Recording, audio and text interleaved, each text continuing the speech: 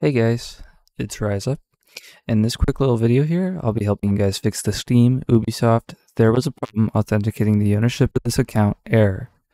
There are two ways that have worked for me on fixing this issue. Step 1. We will be ensuring that you are using the account that is linked to the game you are trying to play. So what we're going to want to do is go to Ubisoft Connect, click Games, and ensure that the game you are trying to open is in your library. If it isn't, then you may have another account that the game you're trying to open is linked to. So go up to your account, log out.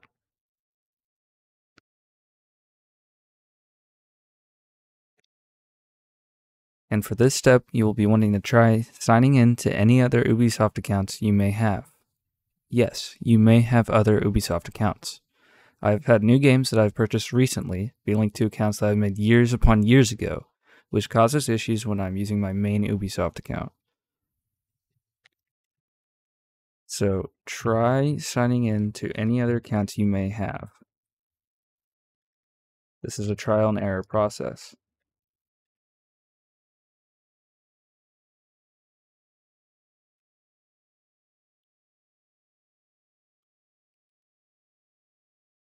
As you can see, I've found an older account that I have, and we'll see if Breakpoint is in here. Breakpoint is in here, surprisingly.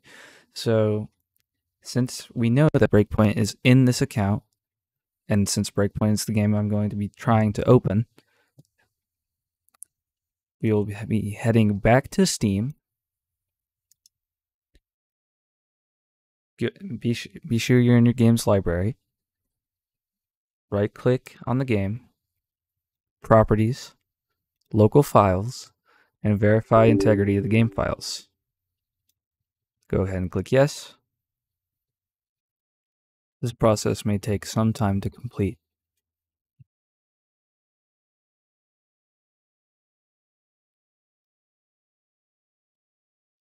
Alright, after the verification is complete, boot the game. Click yes to any changes that pop up. It will perform a first time setup, and after the first time setup is complete, you should have no issues regarding the authentication of the product anymore.